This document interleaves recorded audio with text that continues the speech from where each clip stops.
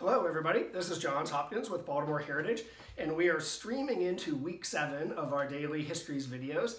If you've been hanging in there with us for the last six weeks, um, we're going to definitely hang in there with you as well.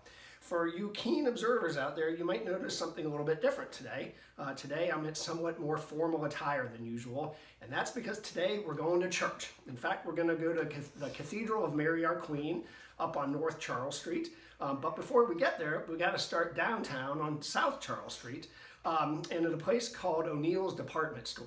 Thomas O'Neill was an Irish immigrant, came to the United States in the 1860s, and started a dry good business um, and did very well at it.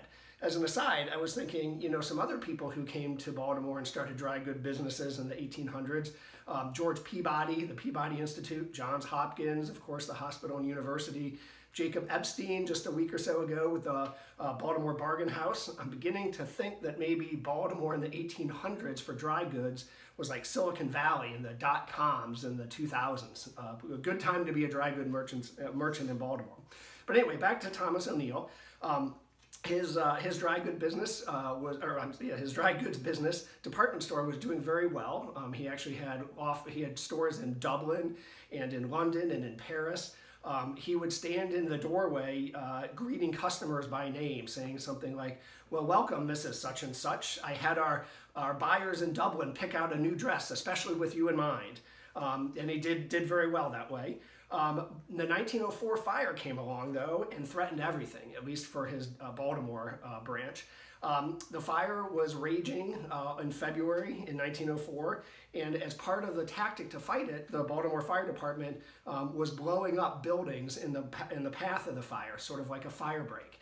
And uh, as the fire department rolled up, and, and of course O'Neill's department store was in the path, as the fire department rolled up with their boxes of dynamite, Mr. O'Neill was standing in his doorway and said, uh, basically, uh, if you blow up my building, you're going to blow me up too. And we don't know exactly what the whole exchange was, but the fire department kept rolling up the street, I think probably hoping that the next building owner wouldn't be an um, irate Irishman and they could get it done. Uh, but O'Neill had two weapons that maybe the fire, fire department didn't know about.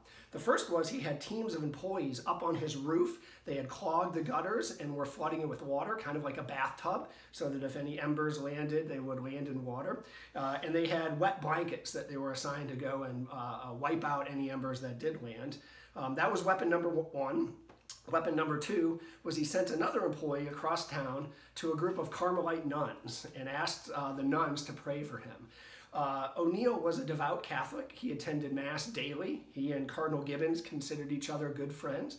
And we don't know whether it was the wet blankets on the roof or the Carmelite nuns' prayers, uh, but the fire did in fact spare O'Neill's department store. And in thanks, he pledged to give uh, his estate when he died uh, to, the, to the Catholic Church to build a cathedral. Um, O'Neill died uh, on Good Friday in 1919. Um, he did give his estate to his family, uh, his, his wife, Roberta, and, uh, and his sisters. Uh, and then with the provision that when the last of them died, it would, the money would go to the church for a cathedral. Um, the last of them to die was Roberta in the 1930s. And at that time, it was the height of the Depression um, and World War II. Uh, so the money just sat in a bank until the 1940s or early 50s. And the church at that point uh, didn't need a new cathedral. We already had one of those. Uh, what it needed were schools. And so the church actually went to court to try to overturn the will to allow them to spend money on schools, not on a cathedral. Um, the judge denied it. And by the mid 1950s, the church uh, decided that they would, in fact, go ahead and build a cathedral. And when they got to it, they were really serious about it. Um, they hired a, a, firm out of Chicago to design it, um, well known for uh, working with Catholic institutions across the country. Um, and they were given three uh, charges of three things. They were to design a Gothic, uh, old-fashioned Gothic cathedral, a uh, sort of mid-range cathedral, um, a blend, and then a modern uh, architecture design. And the church looked at the three and chose modern, Art Deco, in fact. Um, and that's what we have today. It is a grand, grand structure. If you haven't uh, been inside, I encourage you to do it. Um, it was completed in 1959. And let me read a few statistics here. Um, it, is, uh, it is 163 feet high. It is 373 feet long, um, and incidentally, that's 41 feet longer than St. Patrick's Cathedral in New York, uh, if, uh, if you want a little competition going on here.